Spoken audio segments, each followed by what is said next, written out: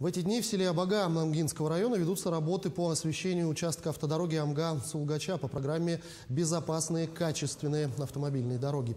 Общая протяженность составляет 2 километра 300 метров. По завершению монтажа опор ожидается прибытие второй бригады для установки энергосберегающих ламп. Следует отметить, что освещение этого участка является одним из наболевших вопросов, решение которого принесет большую пользу жителей. Следующим участком работ по освещению будет трасса в селе Сулгача.